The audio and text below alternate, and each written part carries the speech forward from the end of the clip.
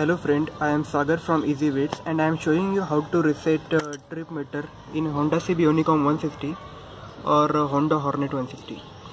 So on the left side we have uh, select button and on the right side we have reset button. There are usually two modes of uh, trip in this uh, instrument. This is hard to press. Trip A and uh, and trip B and uh, this one is the total okay. By selecting the A and after pressing reset button it comes to 0 it's already 0 because I have reset it already and I don't want to reset trip B.